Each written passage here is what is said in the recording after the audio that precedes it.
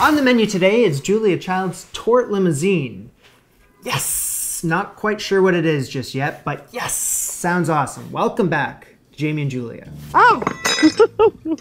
bon appetit. Back to JC's Mastering the Art of French Cooking V2 today.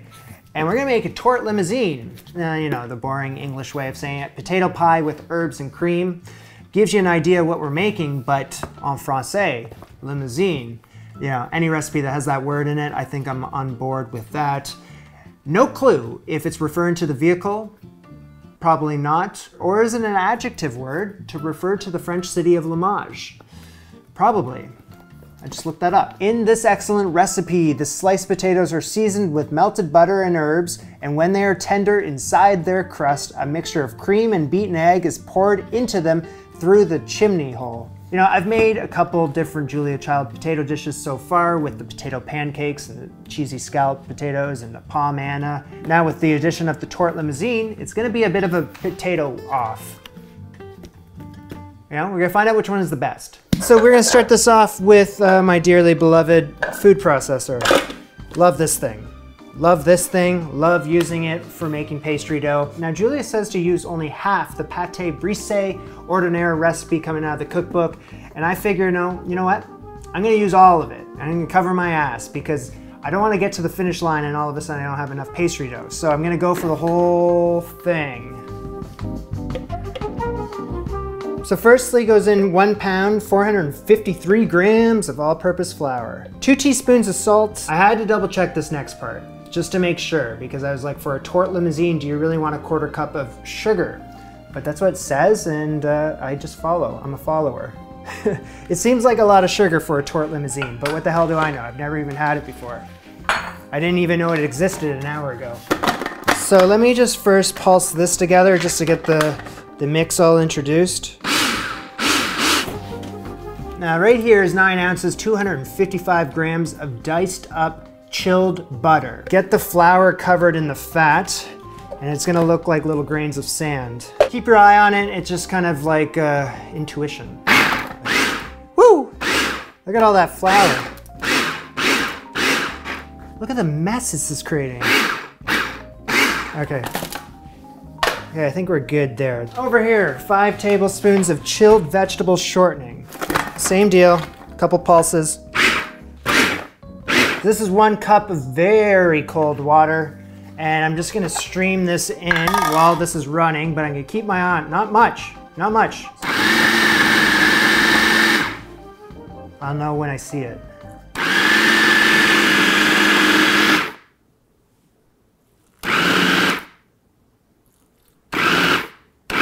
She said three quarters a cup to a cup. I think we're there. That was half a cup. Now it should look like a bunch of small lumps and when you grab some in your palm you can kind of squeeze it and it will hold its shape. Let's take all this flour here. Yes.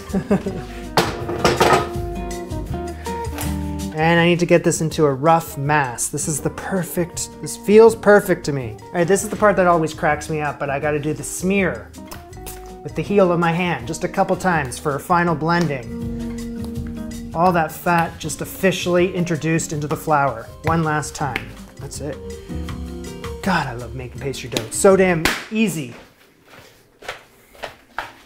Julia likes to do this double protection here. I'm gonna cover it with plastic wrap. In that goes into the bag. Into an acceptable round kind of shape there. That's it. Chill this for two hours. How long does that take? Wow, under 10 minutes. I've planned this accordingly so that by the time I'm done all the prep and mise en place the hell out of this thing, the dough will be ready. Bowl me.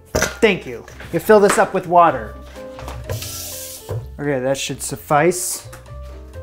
Okay, so we're gonna start off with six cups of thinly sliced all-purpose potatoes. An all-purpose potato is a potato that has not too much or not too little moisture and starch. It's like right in the sweet spot.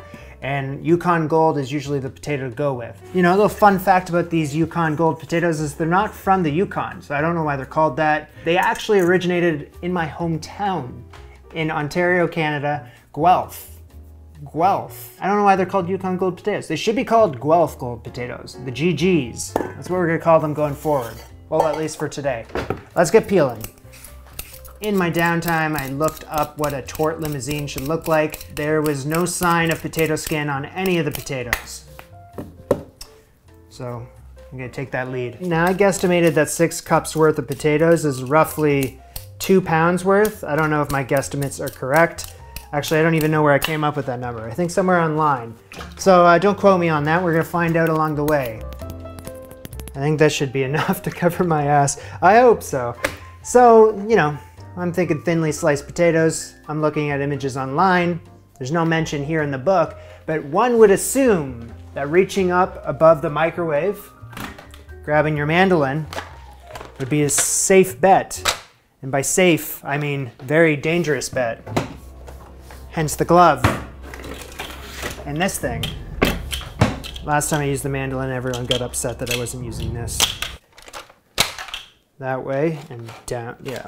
Maybe like that. I've tried that before.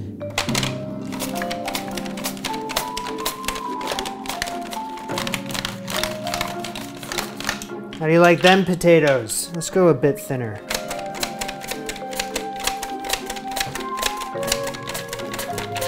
So with this mandolin here, I'll be honest, freaked me out at first. First I was afraid. I was petrified. I love this thing now. Look at this go. Yeah.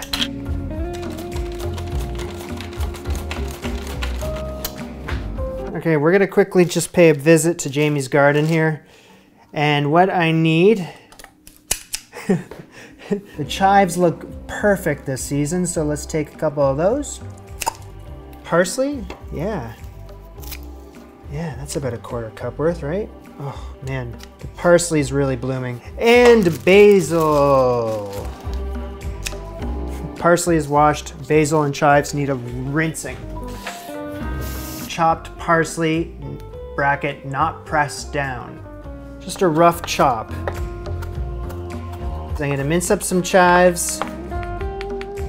And one big old community mince. I'm gonna hold off on mincing up the basil right now because I don't want it to oxidize while I fiddle around with things, trying to figure out what I gotta do next. Oops, the parsley just fell. over. Okay, I'm really gonna have to dust off this thing.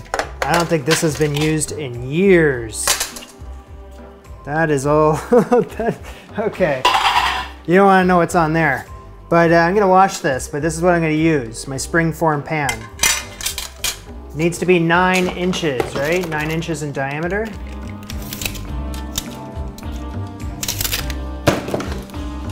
Perfect.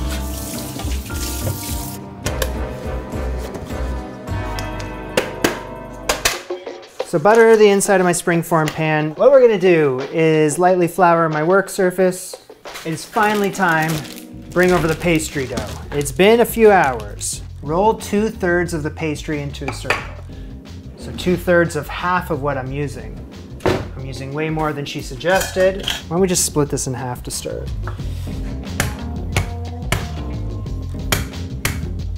Roll this into a circle 14 inches in diameter. 14 inches in diameter. I don't know why you're making a rectangle when she clearly says a diameter. Circle, man. Just to be on the safe side, I'm gonna bring over a little more dough. I always find that when Julia says use a certain amount of pastry dough, I always need more. It's just what I find. So that's a good thing that I made a little extra. It's the worst looking circle I've ever seen. All right, that's 14 inches, but could you make it a little more circular? If you're not gonna roll the circle, then I have to do it manually. It's come to that. Perfect. Kind of just kind of scrape this up onto the rolling pin. Be careful because it is warming up. Springform pan. So we gotta line this mold. It's a big ass mold. It's one and a half inch overhang. That should be good enough to hold everything in there, I think. I mean, we're going for something that's a bit rustic looking, right? And that gives me a little carte blanche to do whatever the hell I want with this thing. patchwork if I need to. And uh, yeah, make it look make it look the part. So before we do anything with that dough, we gotta mince up the basil. We're gonna do a chiffonade to start, because I love saying the word chiffonade. Oven's been preheated to 425F. Probably good that you know that. I got a two tablespoons in total worth of chives and basil that have both been minced. And I got a quarter cup of chopped parsley. Four tablespoons of butter that I just need to melt this really quick. Now while I'm fiddling around with things, I'm just gonna put the pastry dough back into the fridge. Into melted butter, add the parsley, basil, and the chives. You definitely have my attention with that. That is pretty awesome. I need to drain and dry my potatoes.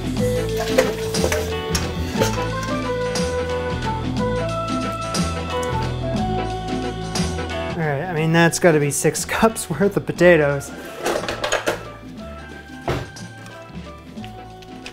Yeah, I'd say that's perfect. Okay. Spread one third onto the bottom of the pastry dough. Pour one third of this butter herb mix here. Add some salt, crack in some pepper.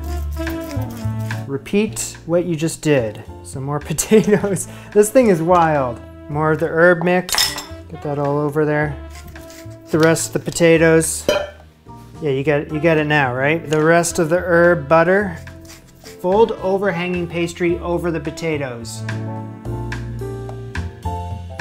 All right, so there's some holes in the pastry from the potatoes. It's like stabbed it. so I just like patch it up a bit. Water on the top of that pastry because I know what's coming next. Well, because I read the recipe. Put this aside for a sec. Sprinkle a little flour on there. Remaining dough. So in this time we need a circle nine and a half inches in diameter. Okay, I think that's gonna work for what I need. That goes up and down onto, so I gotta press it down over the balls of my fingers, over the moistened part of the pastry underneath. okay, this thing is awesome.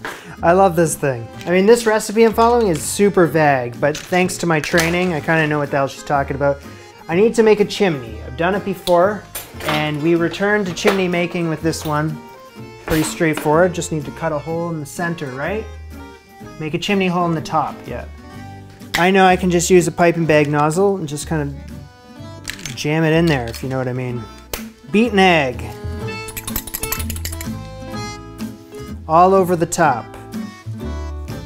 With the back of a knife or a table fork, make cross hatch marks over the pastry with the back of a knife or the tines of a table fork.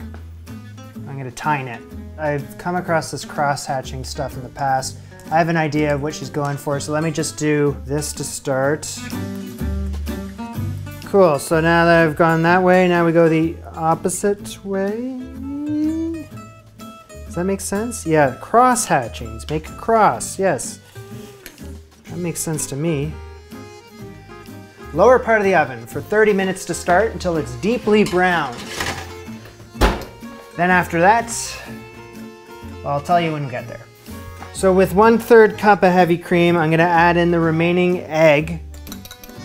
This goes in the fridge, saving this for later.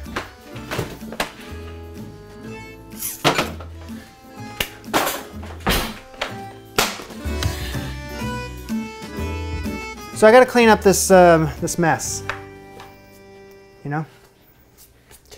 So that's probably gonna take me around half an hour, and then by the time that's done, we'll check on the tourte. Yikes. Yikes, yikes. Got an emergency over here. Uh, I didn't put a baking dish underneath the springform pans. All the butter, everything is just kind of dripping out onto the bottom of the, the oven. So I'm just gonna fix that. Okay, we're gonna have to be quick.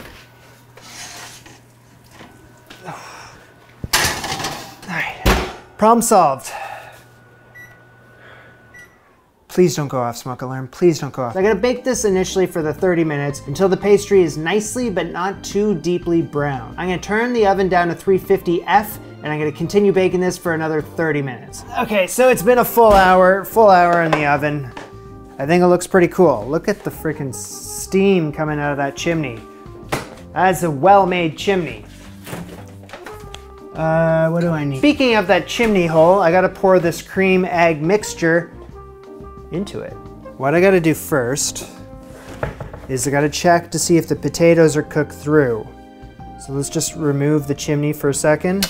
So I'm poking what is a thermometer through the chimney hole and I'm just making sure that the potatoes are tender enough for me to proceed. You better bet your ass they are. So let's do exactly what I was about to do. Create some sort of funnel here. First batch is down. this is awesome. Okay, do that initially.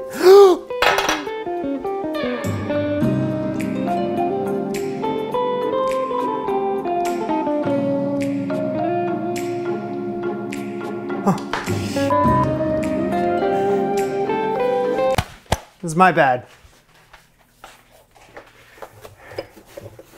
Just messed up royally, so hopefully no one notices. I don't think you'll notice. I mean, I gotta say, in my defense here, that is a kind of weird step, right? Like, it's not just me. The problem is it's not dispersing into the pie. Go in there, cream. Let's try a little more. Oh, this task sucks. This is what she told me to do. By the spoonfuls, pour the egg cream mixture into the pie through the chimney, tilting in all directions. Well, that's exactly what I'm doing. And it will, apparently the cream's gonna flow all over, but there's so much damn potato and nonsense in this pie that it's not going anywhere. Sorry, I'm angry now. Ah, it's so freaking hot. Go in there. I think that's as Go into the pie, you creamy egg. This idea is not great. It's not a good step. I don't, I don't recommend this step. All right, I'm not doing any more of that. I was having a great time until that happened. So let's bake this for another five minutes so that this mixture sets.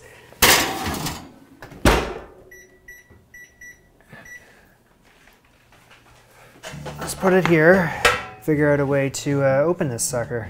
Easy or hard? Give me an answer. Incredibly easy. That's just gonna blend into the cutting board, so I'm gonna just do a, uh... okay, now. so for my final trick here, I'm just gonna take a little parsley and put it into the center, because that's what I saw other people do online. This right here is the final piece to the puzzle. That should about do it. Order up!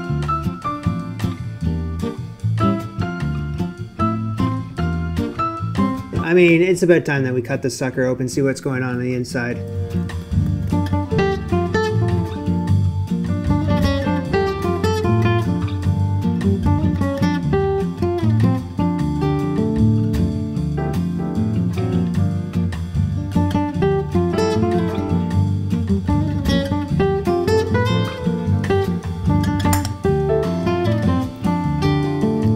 That's hot. Oh, but it's good. It's really good.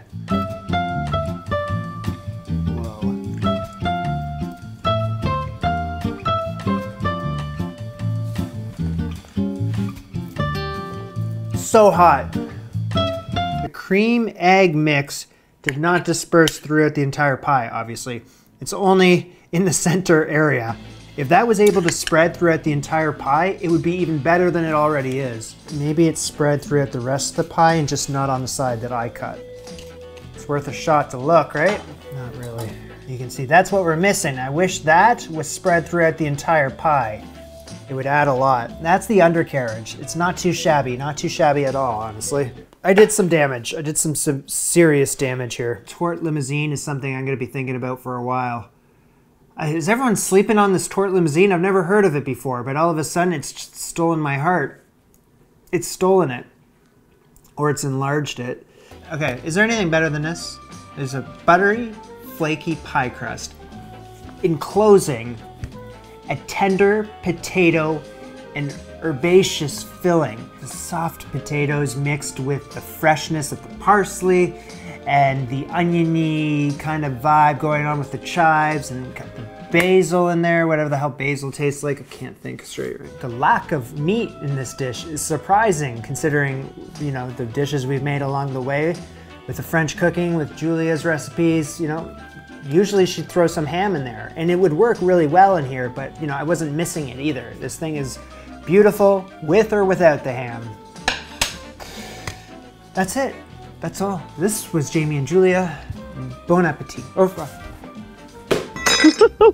Having a bit of a um, potato off, a potato challenge, if you will. Remember, with the cheesy scallop potatoes, the pommes Anna, potato pancakes, and the tourte limousine. So the question is, of those three dishes that I've made so far, which one is the best? To answer that question, it's not the same league. It's not the same sport. It's not the same planet. This is Tourte Limousine is all the way at the top. I can't believe how good that thing is. There was a slight downside to everything. Obviously that